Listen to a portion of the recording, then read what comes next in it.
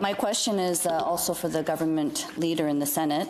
By all accounts, Lieutenant Colonel Eleanor Taylor has been a distinguished member of the Canadian Forces over many years of service. She commanded an infantry company in Afghanistan. She was a key planner for the military security operations for the Vancouver 2010 Olympics. Yet last week, she submitted her resignation from the reserves, saying she was sickened and disgusted by ongoing reports of sexual misconduct in the forces. She believes Operation Honor should drop its name, as it has lost all meaning.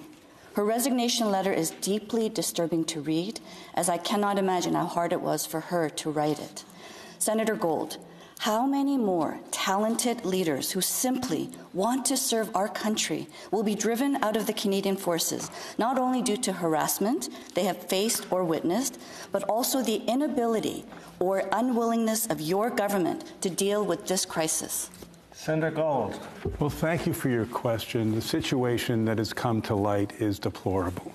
And the government commends the women who have come forward with their own stories and understands how difficult it is and must be for them.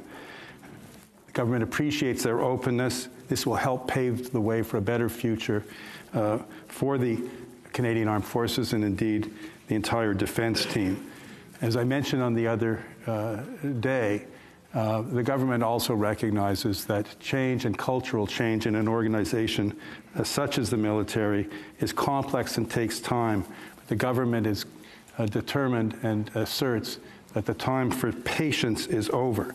I'm advised that the government is looking at all options currently to change that culture in the Canadian Armed Forces in order to provide a safe and inclusive environment for all personnel, regardless of rank or position, whether civilian or of military status, as well colleagues to ensure that there are tangible supports for those who come forward with allegations of assault or harassment. Martin. Yes, um, Leader, with all due respect, those words sound quite hollow.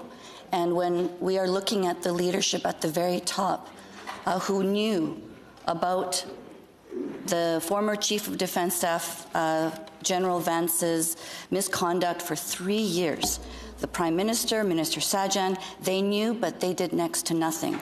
Today we see the result of their inaction, the resignation of a highly respected member of the military who says she believes the scope of the problem has yet to be exposed. So Senator Gold, your government has badly failed our women and men in uniform? Why is there a total lack of responsibility? Why does the Prime Minister still have confidence in the Minister of Defense? Is it because the Prime Minister can't dismiss the Minister because they both failed to act for three years? Senator Gold. Thank you for your question. And, and nothing that I'm about to say in any way belittles the problem that has been identified and that needs to be addressed in military culture. But, colleague, when respectfully, it's simply not true that the government has done nothing. Major steps have been taken, that they have not been fully successful, and that work, much work remains to be done uh, is a sad uh, but inescapable fact. The government is committed to looking at all options to improve the situation for those in the military, to improve the ways in which uh, allegations of mistreatment, assault, harassment can and, and will be dealt with uh, and I'm convinced that the government, uh, and I want to assert that the government is taking this extremely seriously. Uh, these are not hollow words. Uh, this is a serious engagement of this government.